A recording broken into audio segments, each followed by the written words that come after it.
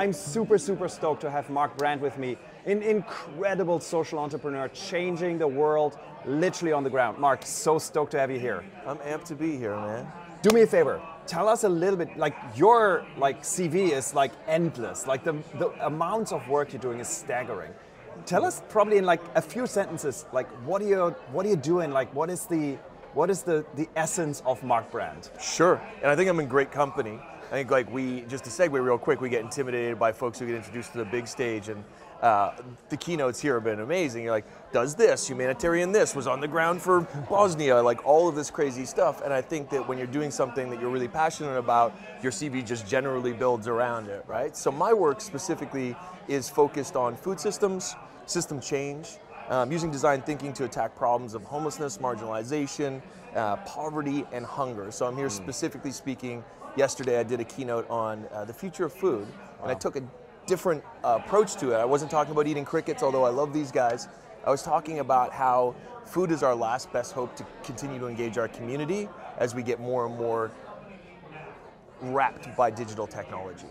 Say more about that. Yeah, I'd love Explain to. Explain that. Like, give me like the 90 second. Of course, you like unfortunately can't see the whole keynote thing like right now. But sure. Give me the 90 second. Why is that? Why do you like hold this as a as a anchor stone of your work? Sure.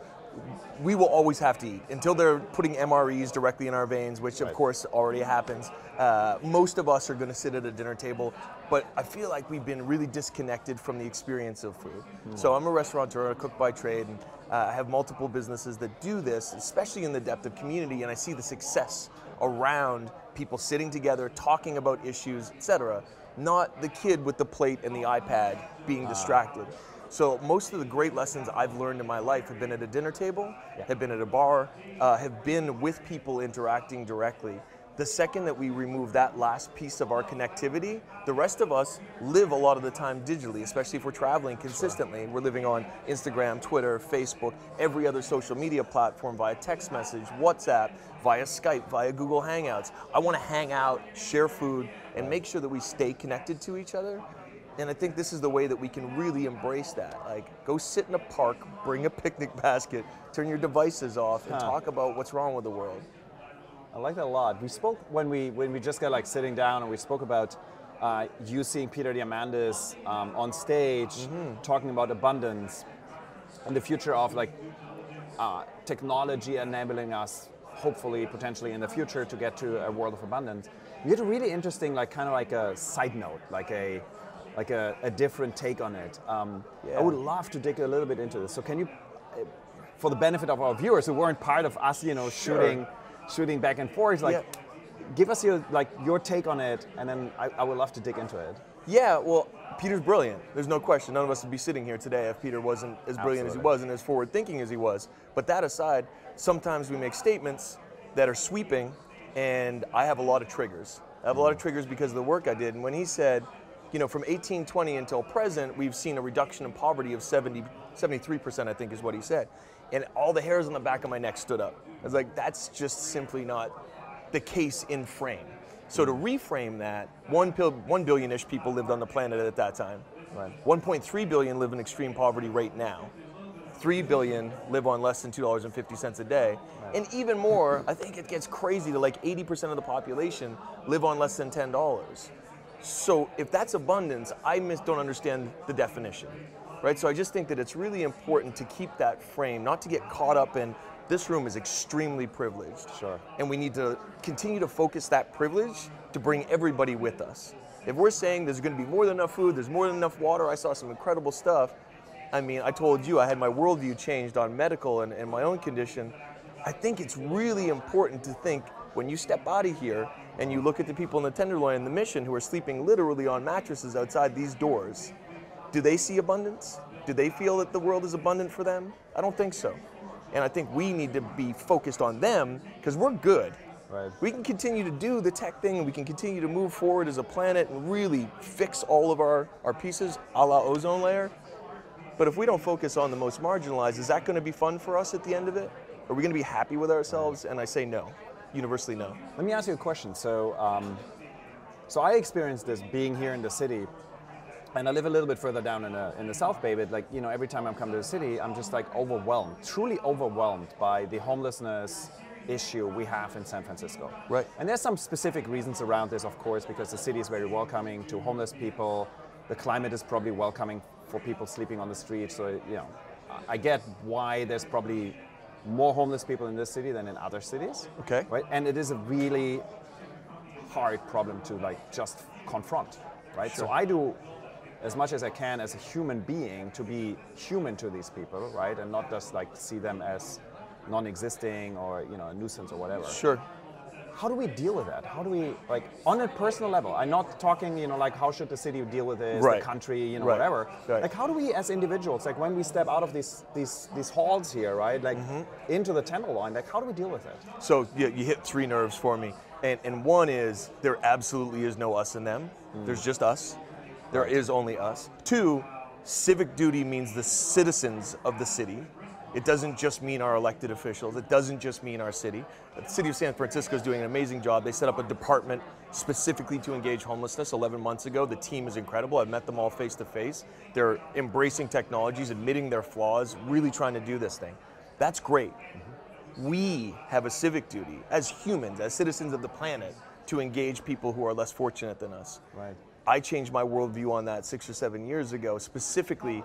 And what was getting in my way, and I challenged people on this, was my ego. Hmm. I was scared that if I went to speak to somebody who was homeless, they might ask me for something that I couldn't give them. Now, I didn't have that in the front of my mind, it was in my subconscious, Yeah. right? And it was, do you have? And if I was to say no, I would feel guilty. So, me, me, me, I, I, I. Right. You know what? If you don't have it, you can simply say, I don't, but I hope you're having a wonderful day. And I wish you the best.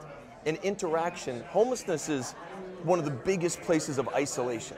Right. So if you're in that state of isolation, like just a handshake, a hello, an acknowledgement, an interaction that you're there is really important. Right. And then I think if it, you really care about it, there's so many great resources. We're across the street from Glide Church, that's been around for 57 years, helping with homelessness.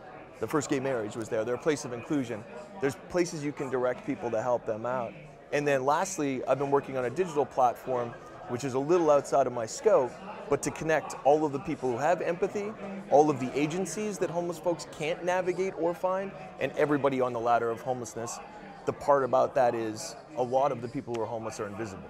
They're living in cars, they're crashing on couches, they're living in shelters. You're seeing the tip of a very, very, very big iceberg. So let me ask you a question. So we, we work a lot with entrepreneurs. There's a lot of entrepreneurs in this uh, in this group here attending the, the summit. How would you, as an entrepreneur, being empathetic, caring about these issues, how would you go about this? Like what, what is how do I connect with this? Yeah, and I think the best way is as a human is to set your tech aside for a second and to step out and find out where you can fit into it. And the second part is there's other folks like me who are working on platforms who you can support. Right. You know, yesterday I got the, the chance to see a panel, and one of the gentlemen on the panel said, I've created a two page uh, executable document so it's a contract to be able to use X, Y, or Z. It's the simplest contract that was ever created on the internet. I was like, I need that for my platform. So I think us as a community will be developing the platform that I'm building.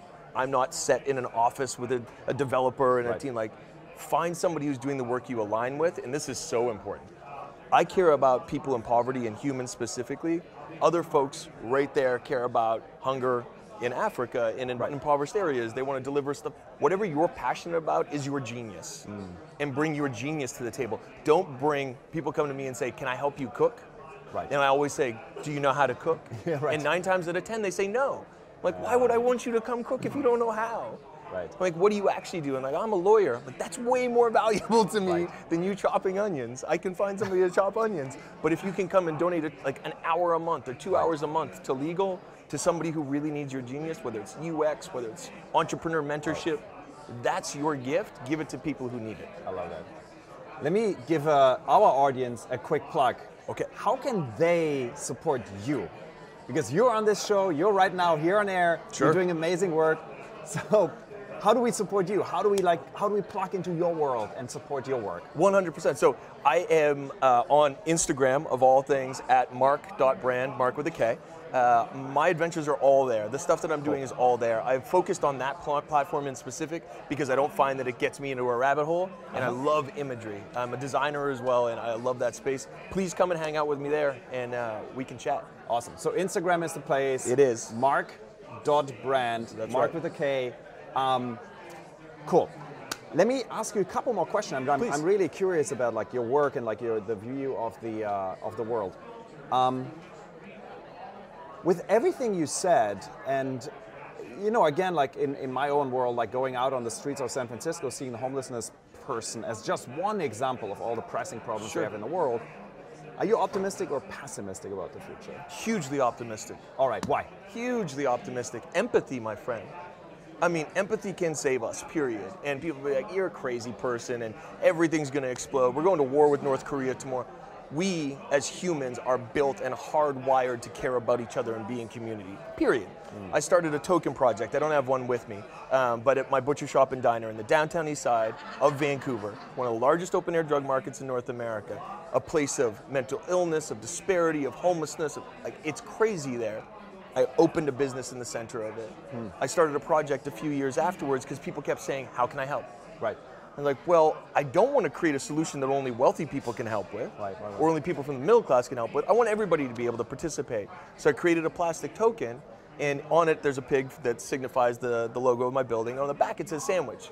And so you can hand that to somebody in the street when they ask for money for they're hungry. When they say they're hungry, you hand it to them. They know the building. It's been there since 57 and they can come and redeem it, sit down at the diner, have a coffee, hang out, feel part of a community because they are. Wow. Or take it to go. And so when I launched it, I thought maybe two or three redemptions, right? Right. A day and I'd be stoked because we have to talk to somebody when we hand Yeah, them yeah, something. totally.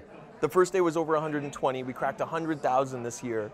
It's just skyrocketed to a point, and that's where my hope comes from. Huh. If people have to come all the way to my neighborhood to engage in this program, 90% of people do anyway, some do it digitally, and then go out in the street and do this in a neighborhood that they wouldn't necessarily feel safe a lot of the time, which is a huge misnomer, then I got a lot of hope. There's only 631,000 people who live downtown Vancouver. If 100,000 people of that have participated because they care, yeah, we're good. We just need to give people channels to participate. Right. You saying, How can I help? That was a genuine ask. And if people can't get involved, how can we expect to secure our future together? We, we can't. So that's what my main focus for two years here at the Stanford D School for a year, um, through the Think School of Leadership. I'm just laser focused on being able to connect us so we can actually connect. That is amazing. Um, let me take it one level up. I'm Sure. curious. So that is the how do I help as a person? Right. Uh, probably as my closing question. How do I help on a systems level? So how do I like? I am sure there's a bunch of people out there right now watching you saying like this is amazing and. How do I create the token system? How do I come up with that idea? Yeah, Right? Like how do I embed this into my business, into my existing business? Sure. Like how can we do this? So two streams. One, do it. Um, we launched a token project here with a group that um, I helped to mentor out of Stanford Farm uh, called Farming Hope. You can redeem tokens and help people out who are cooking taquitos, et cetera, at the ferry terminal building on Wednesdays and I think Sundays. Good plug for those guys. I love you. Uh, and then secondary, be a part of hiring people who need the employment. Now, let me be more specific there. In the service industry, we're experiencing a massive gap right now in skilled labor. Because kids were like, I could go be a cook for $15 an hour and work 12 hours a day. No, thank you. I'm good on that. I love to cook, but I don't love it that much. I'm going to go code for Google. Yep. And so we have this huge gap. Instead of seeing that as a problem, I saw it as an opportunity to engage with people who have developmental disabilities, who have mm. mental illness, who are coming out of recidivism, et cetera, et cetera, and getting them into training programs and getting them to work. That's awesome. So turnover in the restaurant business is around 80% a year, or the service industry. Everybody who's helping us here today, per annum, because people are off to another career. Right, right, right. That's incredibly expensive to people in the service industry to replace people and train them consistently. With people who are barriered in any of those categories, turnover is less than 30%. They're not hunting for your job. Wow. You know, there's a whole different mind frame. And most importantly, the people who work for you outside of that get what you're doing and they turn over yeah, less. absolutely. There's your impact. Get people off the street by giving them purposeful employment, something they care about. That's amazing. So it's two things: do it, and get the right people involved, right? And Like, one more, do it. do it. yeah, right. Just go On do that it. note, Yes. um, The thing you all should do is you go to Instagram right now, go to mark.brand, follow Mark, check out his stuff, see how you can help him, get inspired. I know you're also teaching, there's a whole bunch of like teaching methodologies around this. Yeah. Check that stuff out and go do it. Absolutely. Mark, thank you so much. It was an incredible pleasure.